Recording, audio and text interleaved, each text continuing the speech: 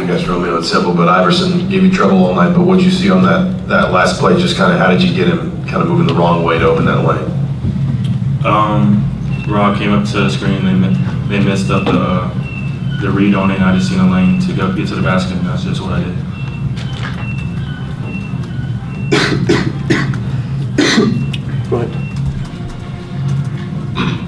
Not only getting some meaningful minutes in the game, and then kind of getting thrown to the fire there with the, the overtime periods. Just, I mean, how did you kind of keep yourself calm and composed during that stretch, and how do you think you performed up there? Uh, I kept calm because my teammates, I know they have faith in me. They keep telling me I'm good, like you got this. And this is like what we do for a living, so there was no reason for me to be nervous or nothing. That's what I do. And then I think I just played to my strengths and did what I had to do.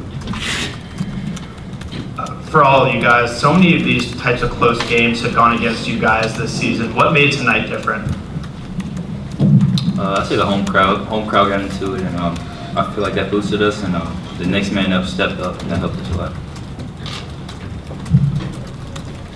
Back there. Race, you've been able to go against De'Ron Davis and Juwan Morgan in practice consistently. How did that help you for your matchup today against Ethan Happ? It helped me a lot. Um, going up, going up against them every day is not easy at all. They're really good players, so we help each other every day in practice. So let's really help each other.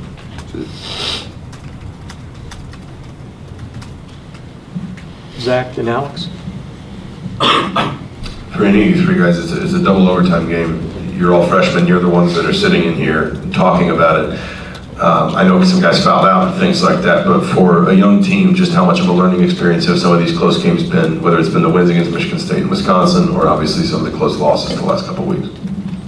Uh, I mean, like you said, we've been in a lot of close close games, and uh, this team is majority young uh, and new faces onto the to the scene. But I just feel like the games we've played in the first half of the season, and then some of the games we played in the second half, which came down to the wire, just prepared us for this. And uh, we we learned from our mistakes for the ones that we lost, and kept on battling, and we came up on top today.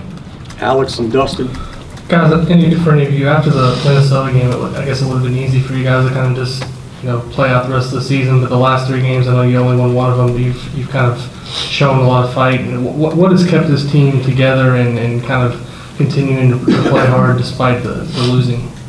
I say our leadership, uh, J-Mo, just the seniors. I mean, we don't want to go out on a bad note. Uh, like you said, we could have did that, but we just stayed together, and uh, we just we're gonna keep fighting. Dusty. One of you guys mentioned just the games, the close games you guys played in the first half of the season. Did tonight remind you of the team you were in December? This was the sort of games that you, you know, won during that stretch. Uh, I felt like the last three games really um, reminded us reminded us of ourselves in the beginning of the season, just how hard we've been playing and, uh, and held ourselves on defense, even though we came up short. But um, uh, especially tonight, uh, we went into overtimes and beginning of the season, we didn't give up on like a team made a run on us, and uh, Wisconsin they made a, a, a run on us when we got up. Uh, I think like ten, they came back and took a lead, and uh, we didn't panic and we just stayed with it. Anything else from players? Go ahead. I guess for any of y'all, it's kind of a, a simple question, but just from an emotional standpoint, was, you know, pulling out a victory, not only to have something in the win column, but in this kind of, you know, gritty style and double overtime, was that due to the confidence or just kind of, you know, keeping you going as the season nears an end? Oh yeah, it is a confidence booster. So we just have to build off that and um, take one game at a time and bring it to Michigan State Saturday. Anything else for the players? Dusty?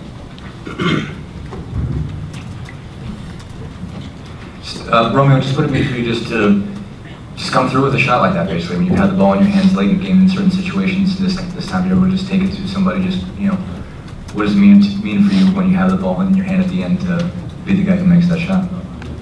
Uh, I mean, just finally, I, I hit one. I mean, I, I know the past two times um, I had it in my hand in, the game. Uh, it didn't come out as we planned, but I just learned from my mistakes in the past two. I'm settling for a jump shot and felt like they couldn't stop me getting to the rim, and that's exactly what I did, and uh, Made the shot.